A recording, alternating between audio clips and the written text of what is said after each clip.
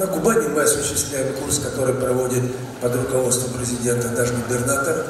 Мы поддерживаем губернатора.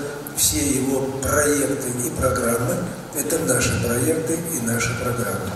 Вы с полной уверенностью можете использовать тот материал, который ну, в открытом доступе есть, как материал, который свидетельствует о наших коллективных усилиях всей нашей партийной организации. На семинаре совещаний, который состоялся в Большом зале городского дома культуры, собрались секретари первичных отделений партии «Единая Россия» трех муниципалитетов – Лабинского, Мостовского и Успенского. В ходе работы обсудили ряд вопросов, акцентируя внимание на реализации партийных и национальных проектов, направленных на улучшение качества жизни населения.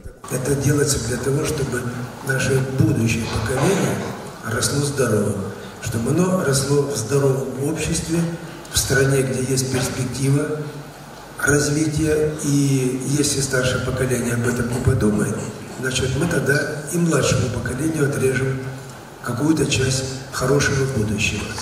И таких партийных проектов у нас достаточно много.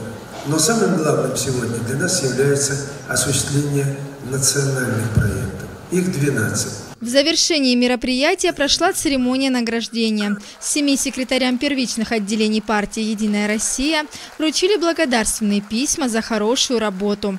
Николай Гриценко отметил высокий уровень работы Лабинского местного отделения партии и выразил благодарность главе района Игорю Чигаеву. Лабинское местное отделение партии, оно работает достаточно активно.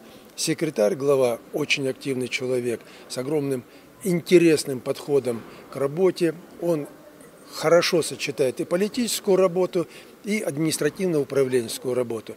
Поэтому Игорю Олеговичу хотелось бы публично через э, ваш телеканал сказать большое спасибо за работу. Лилит Саакян, Игорь Исаков, телекомпания «Лаба».